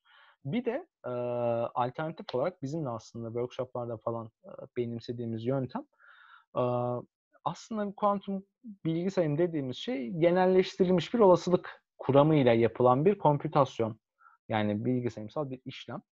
E, o nedenle de hani olasılıksal e, e, negatif sayıları da içeren hali gibi düşünüp e, bunu yapabilirsiniz. E, Dolayısıyla da yani şöylesi bir şey var. Bazı şeyleri e, kabul etmeniz gerekecek. Yani kuantum mekaniğine hakimseniz atıyorum dolanıklığın nasıl çalıştığını biraz fiziksel bir arka plandan anlayabiliyorsunuz. Hani bazı çünkü onun arkasında yani sadece olasılık kuramıyla anlayamayacağınız bazı şeyler var. Ya da mesela işte süperpozisyonun neden süperpozisyon olduğunu anlayabiliyorsunuz. Eğer o kuantum mekanik kısmı hakim olmak istemiyorsanız bu şeyi de kabul etmeniz gerekecek. Yani süperpozisyon diye bir şey varsa var. Hani bu, tamam bu da böyle bir şey deyip onu kabul edip yapacaksanız kuantum mekaniğe hakim olmanıza hiçbir şekilde gerek yok. Eğer programlama için yapacaksanız. Yok kuantum bilgisayar yapacağım ben. Yani işin donanımıyla ilgileneceğim diyorsanız hakim olmanız gerekiyor. Çünkü yani hiçbir şey değilse çok düşük sıcaklıklarda çalışacaksınız. Karşınıza çıkan şeylerin neden öyle olduğunu anlayabilmek için işin fiziğini biliyor olmanız lazım. Fiziğini biliyor olmak demek de aslında şu, fiziksel dünyada nasıl bir şeyler oluyor? Oradaki elektrik alan neyden kaynaklanabilir? Nasıl bir interaction'dan nasıl bir şey görüyor olabilirim gibi şeylere hakim olmak. Penrose'un dile getirdiği beynimizin kuantum bilgisayar gibi çalıştığı görüşü sizce ne kadar geçerli? Bence değil. Yani ben bunu çok isteyen bir insanım. Keşke böyle olsa da bizim alanımız daha da güzel olsa diye. Ama yani alternatifine beni çok her taraftan çok net ikna ettiler.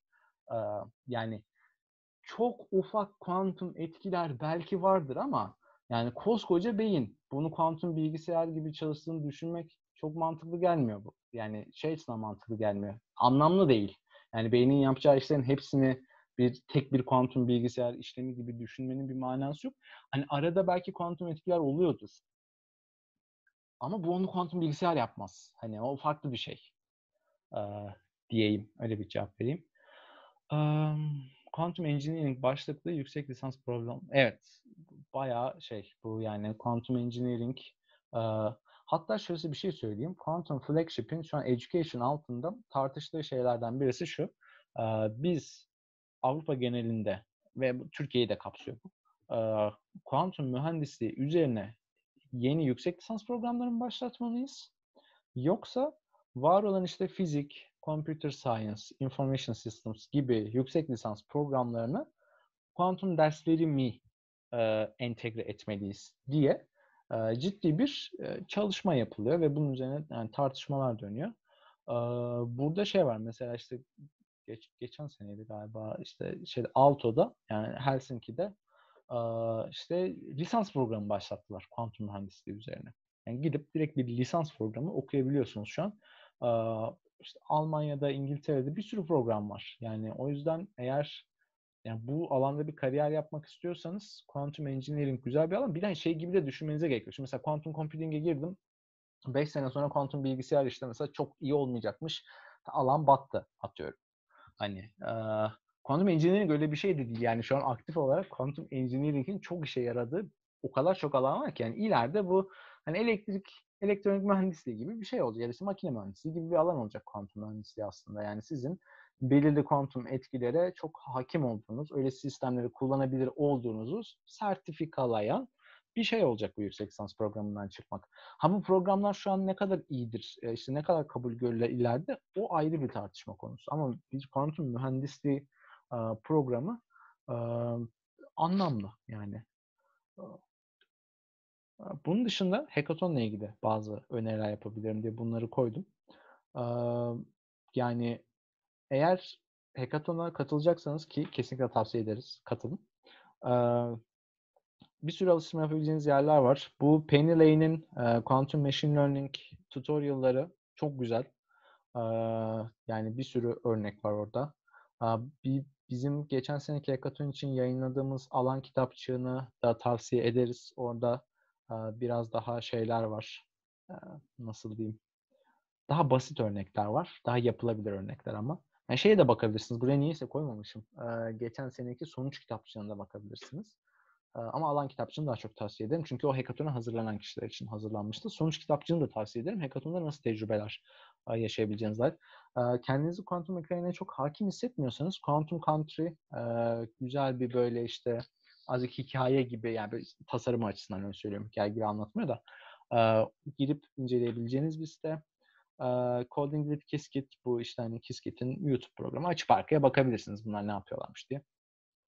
yine aynen Qiskit Learn burada yazılı materyaller de var. biz burada kitabı Türkçe'ye çeviriyoruz ama hala bitmedi.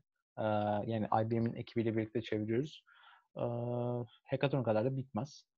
bitse güzel olurdu ama yani İngilizcesinde okuyabilirsiniz. Şu an açık bir kitap. Bu Virtual Quantum Optics Laboratory her her yere pushluyorum şu an bunu. Çok güzel bir şey. Ben çok beğendim. Quantum Optik'ten az buçuk anlıyorsanız veya hackathon'a kadar anlayabileceğinizi düşünüyorsanız kesinlikle tavsiye ederim. Evinizden kuantum optik deneyi yapmanızı sağlıyor. Texas Austin'den bir ekibin yaptığı online ders verme amaçlı ama hani deney de aslında yapılabilecek çok güzel bir sistem. Quantum Game.io çok güzel bir oyun. Yine kuantum optiği öğretiyor. Bu kuantum algoritmimizi zaten yani eğer computingle ya da programlama alakalı bir şey yapacaksanız kesinlikle tavsiye ederim. Annealing ile alakalı bir şey yapacaksanız D-Wave'in kaynakları çok güzel. Ve aktif olarak yani problem çözmeyi gösteriyor. Mesela max cut çözeceksin. Yani elinizde bir graf var. Graftaki işte e, şeyden e, edge'lere göre en yüksek puanı verecek dağılım bulmaya çalışıyorsun mesela ki bu bir sürü başka probleme maplenebilecek bir şey. Hani kaynak dağıtımıdır, işte social relationship'tir, işte yani işte bununla mesela işte Game of Thrones'da Game of Thrones'daki en iyi ekip nasıl olurdu falan diye şeyler yapanlar da var, çalışmalar yapanlar da var. Öyle şeylerin falan böyle hap direkt ha, bunu kullanabilirsiniz diye örnekler var.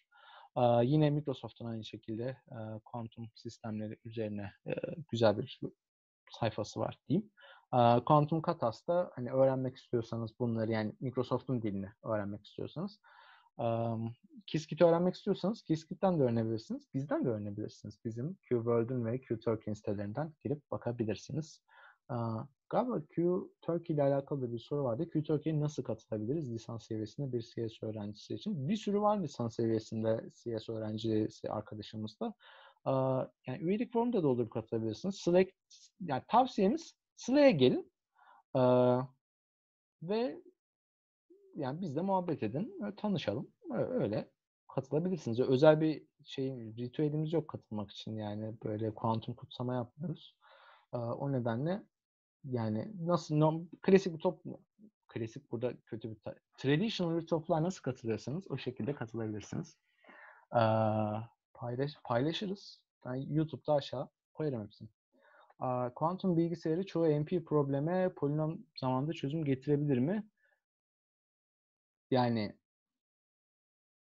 şimdi zannetmem diyeceğim kötü reklam olacak. Ee, ama çoğu NP hard probleme polinom zamanda çözüm getirmesi bilmiyorum açıkçası. Yani,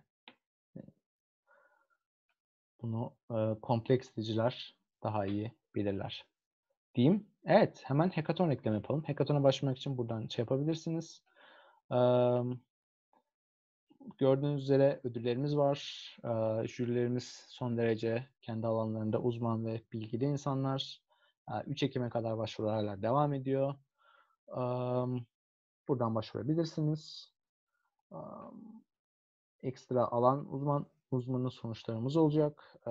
Buna katılım şu an kapandı. Zaten bir kısmınız buna kabul almış durumda diye düşünüyorum. Bunun dışında da dinlediğiniz ve katıldığınız için teşekkür ediyorum deyip stop share yapacağım. Evet. Başka sorularınız var mı arkadaşlar? Hala 50 kişiyiz. İnsanlar çıkmamış. Teşekkürler. Destek aldığınız kamu... kur- He? Onu söyleyecektim. O soruyu söyleyecektim. Ha, e, kamu kuruluşları veya özel kuruluşlar var mı? E, sağ olun hocam. Mesela işte bu hackathon için e, bir özel kuruluş bize sağ olsunlar sponsor olmayı önerdiler. E, ve e, yani ödülleri aslında onlar verecekler. Bizim çünkü kendi bir fonumuz yok. Yani bize öyle destek olan, düzenli destek olan kimsemiz yok. İşte Zoom'u cebimizden alıyoruz. Sanki hani öyle şey işte web sitemizi biz şey yaptık, maillerimiz falan diye. Ee, yani gönüllü bir olay. O yüzden hani Türkiye katılacaksanız e, gönüllü iş yapmayı biraz seviyorsanız katılmanızı tavsiye ederiz. Ya illa iş yaptırmıyoruz burada. Katılan herkese al sen de şu kuantum ucundan tut falan demiyoruz da hani ne kadar aktif olursanız o kadar öğrenebilirsiniz. Yani mesela işte mentorluk programı vardı. Yani bir işi öğrenmenin en iyi yolu yapmak ve öğretmek bence. Öyle olduğu için de e, hani tavsiyem e, yani bizde yapmak zorunda değilsiniz ama bir şeyler yapın. E, öğrenmek istiyorsanız. Sadece kitap okuyarak ya da işte sadece video izleyerek çok bir şey öğrenilmiyor. Yani yapacak düzeyde öğrenilmiyor. Ama bize destek olan bir kamu kuruluşumuz yok. Ha şöyle var. İşte mesela ODTÜ Teknokent sağ olsunlar e, destek oldular. İşte Kadıköy Belediyesi yer verdi. E, işte Özyeğin yer verdi. İşte TED Üniversitesi yer ver. Yani etkinliklerimizi hep sponsorlarla yapıyoruz. Ama hani bu böyle işte düzenli bir sponsorluktan ziyade hani aa şurada etkinlik yap, yapabilir miyiz? İşte oradan tanıdık bulalım. Hani konuşalım. Bize e, işte çay kurabiye versinler de artık çay kurabiye bile veremiyorlar. O yüzden online yapıyoruz. E, eğitim materyalleri kategorisi nasıl olacak? Eğitim materyalleri kategorisi bence güzel bir soru bu. E, ya buradaki iki, iki şekilde olabilir diye be- ben düşünüyorum yani şey jüride ben olmayacağım. Jüride Özlem olacak. Özlem nasıl olacak eğitim kategorisi? Ee, evet. Ee, yani bir konuyu e, aktarmak için bir materyal geliştirebilirsiniz. Ee, mesela yani ilk aklıma gelen şey bu.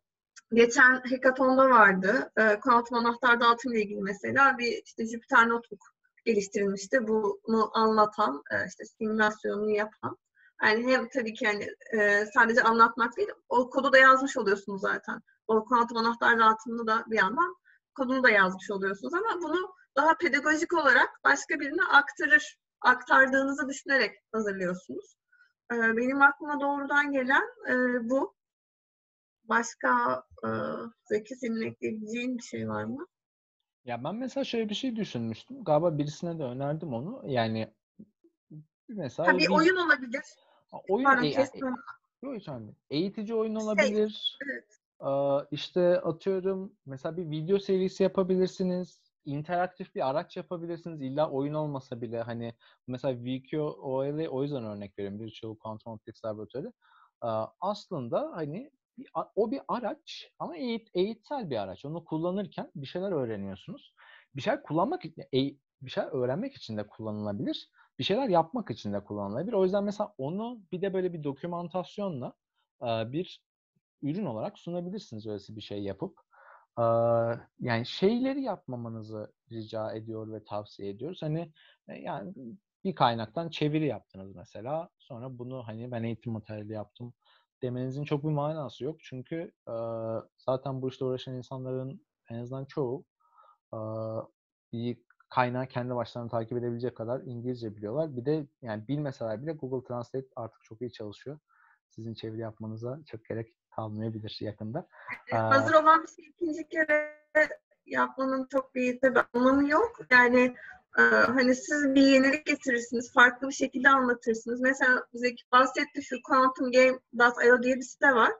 E, işte şey e, oyunla şeyi anlatıyor. İşte fotonlar var, fotonlar geliyor işte e, beam splitter'a geliyor, oradan dağılıyor falan. Adamlar böyle seviye seviye geçilen bir oyun yapmış ama bunu yapar, yani oyun oynarken siz e, arka planı öğreniyorsunuz. Yani bir beam splitter'ın ne yaptığını da öğreniyorsunuz. Mesela bu güzel bir örnek.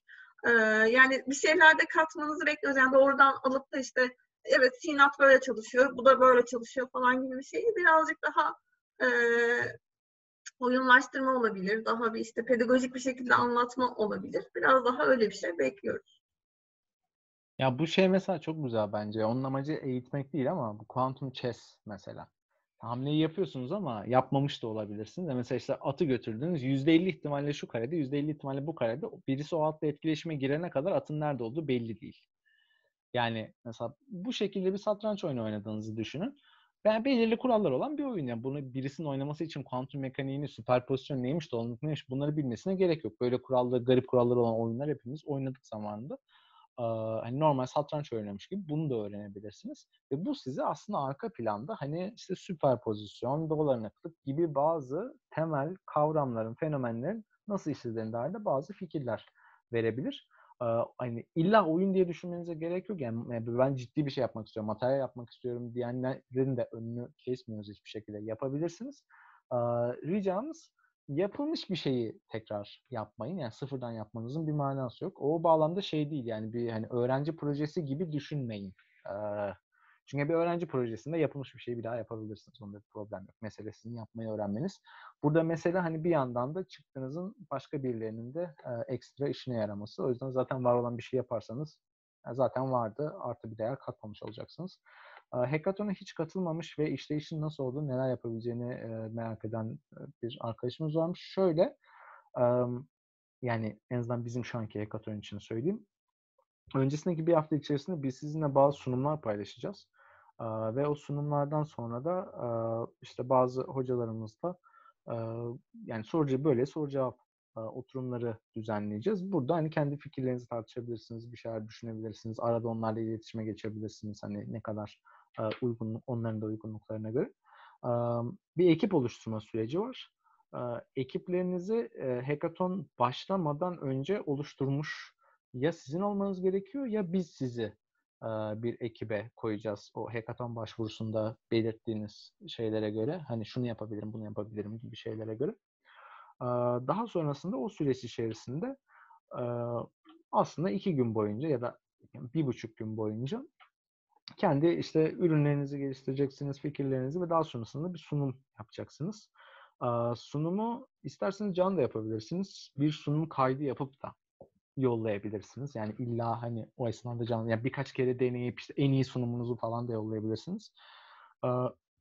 İstediğimiz şeylerden bir tanesi şu, eğer hani çok gerçekten böyle benim fikrimle firma kurulur, işte ben bundan patent alacağım falan demiyorsanız tüm çıktıların herkese açık olmasını istiyoruz. Ama eğer böyle bir fikirle de gelirseniz illa açık olsun diye bir zorlamamız yok. Yani sadece jürilere de paylaşabilirsiniz fikrinizi. Şey yapmanıza gerek yok. Herkesin önünde sunmanıza gerek yok. Böylesi bir olanakta sunuyoruz. Yani dediğim gibi sadece öğrenmek için de katılabilirsiniz ama yani bir şey hedeflemenizi tavsiye ederiz. Çünkü 10 tane ödül olacak e, aşağı yukarı. Hani belki bir yerden bir şey kazanırsınız. Şey olmaz. E, tek başına katılamayacaksınız bu arada. Yani ben tek başıma geleceğim ve tek projem var. Bir tek ben yapacağım diyen arkadaşları alamıyoruz. E, çünkü bu bir takım işi. Bir yandan da bu bir networking. Yani hackathon'dan amaçlarından bir tanesi networking'tir. O nedenle biz sizin networking de yapmanızı, bu alandaki başka insanlarla da tanışmanızı istiyoruz. Hackathon esnasında yani online sosyallik ne kadar oluyorsa o kadar da olsa bir sosyallik şeyi de yapacağız. Hani isteyenlerle böyle breakout room olsun, işte Discord üzerinden konuşma olsun, tanışma olsun böyle imkanlar da sunacağız. O açıdan öyle fırsatlarda işinize yarayacaksa şey yapabilirim kuantum mekanik teorisini biliyorum. Yeni yeni computing'e girmeye başladım. Python veya başka bilgisayar kursu almam gerek var mı? yani bence dümdüz Qiskit'ten veya işte Quantum Katas'tan ya da öylesi bir şeyden başlayabilirsiniz. Yani biraz sintaksa alışmak gerekiyor. Ben mesela Python çok bilmiyordum. Yani çok çok az biliyordum. Python diye bir şeyin olduğunu ve işte orada nasıl merhaba yazarsınız, işte list nedir, işte tuple nedir böyle şeyler biliyordum sadece. Ha derseniz ki şu an çok mu öğrendin? Hayır. Ama yani bilmeden de yapabiliyorsunuz bunları biraz. O yüzden ama tabii yani daha iyi yapacaksanız ha şöyle olabilir. Mesela yanınıza bir yazılımcı alırsınız ya da işte Python'ı iyi bilen birisini alır. Yani siz işin kuantum kısmını biliyor olursunuz. O işin Python kısmını iyi biliyor olur.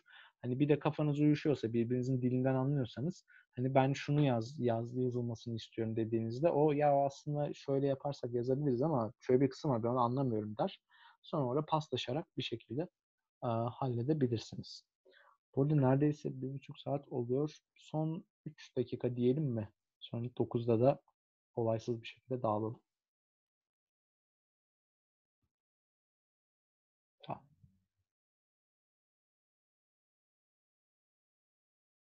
Soru var mı? Hala 48 kişiyiz. Gerçekten bu bir buçuk saatlik bir sunum için başarı. Rekorumuzu kurmuş olabiliriz.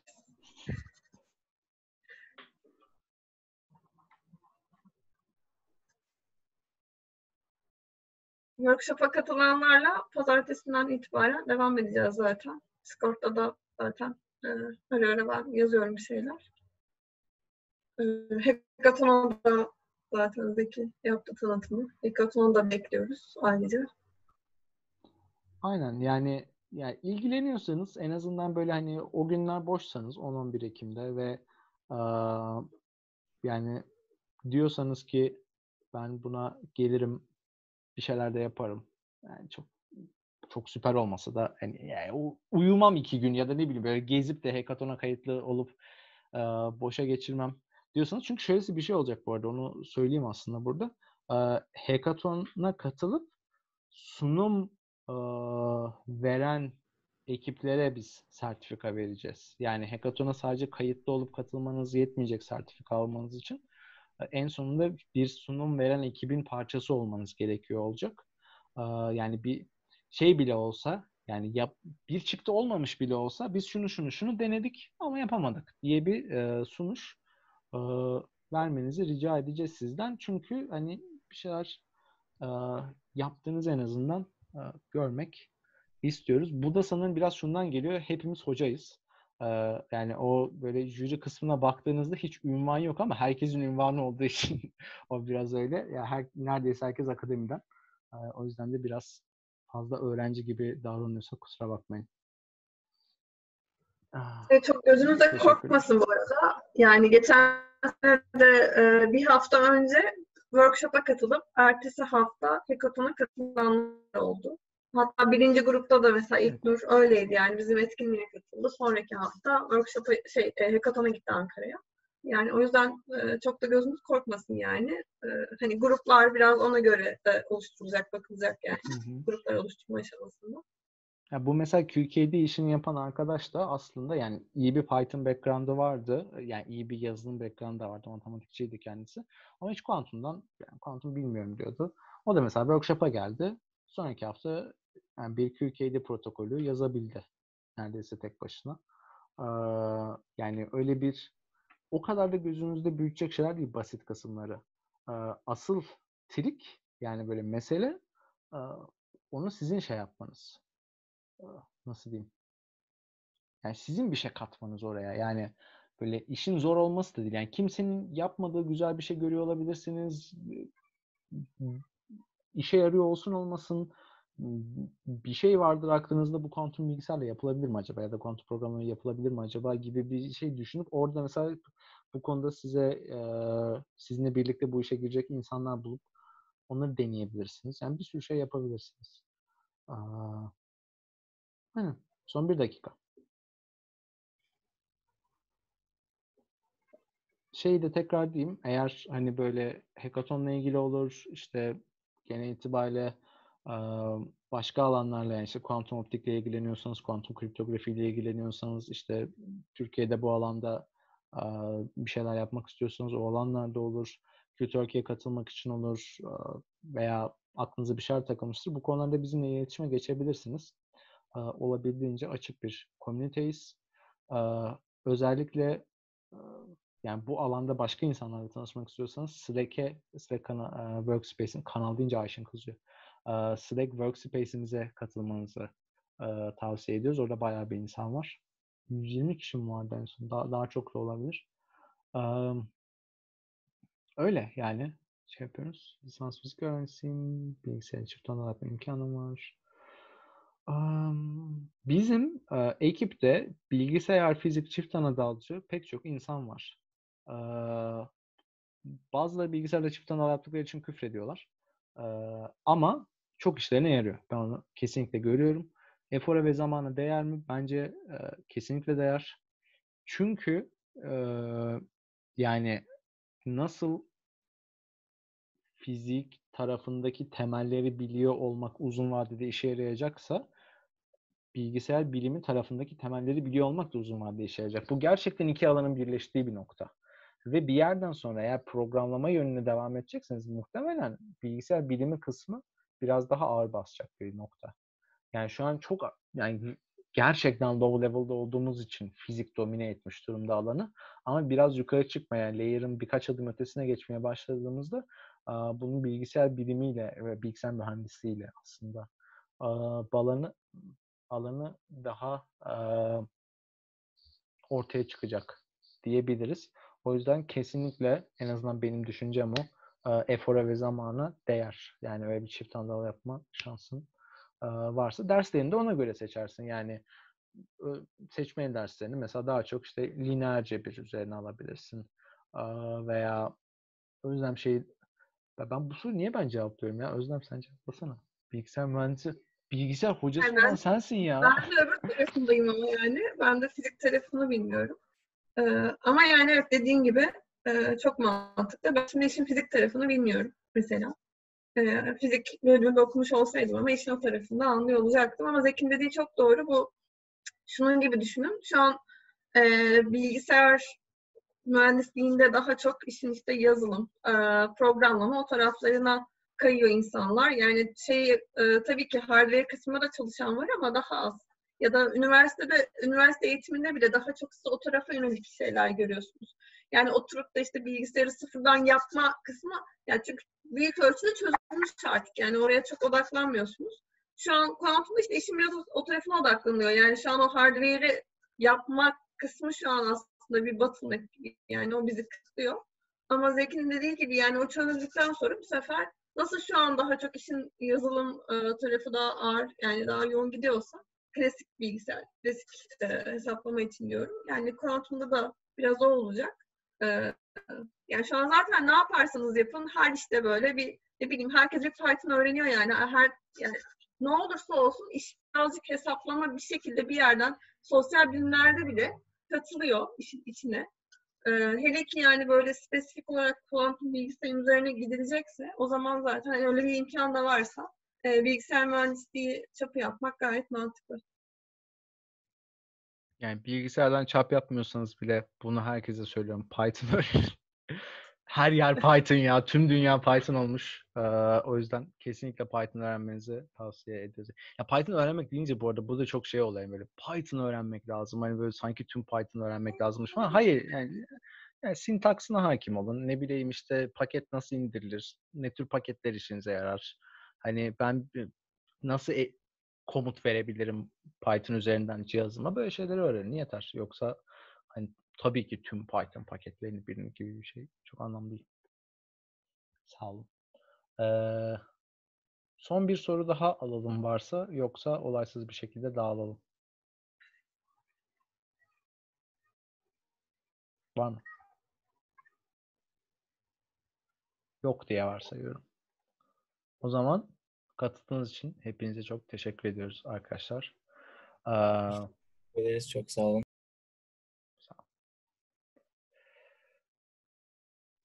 Görüşmek üzere. Evet, o zaman çıkabilirsiniz. Görüşürüz.